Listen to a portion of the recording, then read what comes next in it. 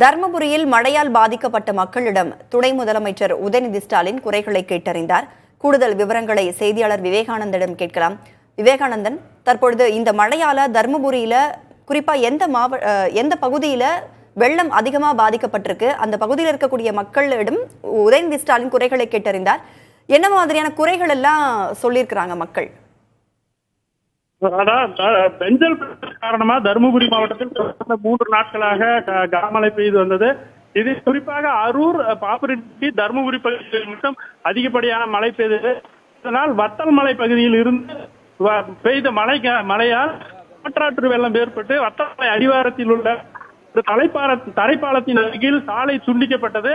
இதனால் வந்து மலை வத்தமலை மலை மீது உள்ள ஒரு ஏழு கிராம போக்குவரத்து முற்றிலுமாகவே தடை இதனால் இந்த ம- மழை சேத பகுதிகளை ஆய்வு செய்வதற்காக இந்த துணை முதலமைச்சர் உதயநிதி ஸ்டாலின் வந்து ஆய்வு செய்து வருகிறார். இதில் முதல் முதல்ல மலை அடிவாரத்தில் சாலை துண்டிக்கப்பட்ட இடத்தில் தற்காலிக பாலம் அமைக்கும் பணி நடைபெற்று வருகிறது.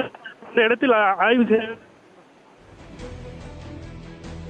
மழையால் பாதிக்கப்பட்டவர்களிடம் துணை முதலமைச்சர் உதயநிதி ஸ்டாலின் குறைகளை கேட்டறிந்து வருகிறார். மீட்பு நிவாரணப் பணிகளை துரிதப்படுத்த அதிகாரிகளுக்கு அறிவுறுத்தல் வழங்கியதாகவும் தெரிகிறது.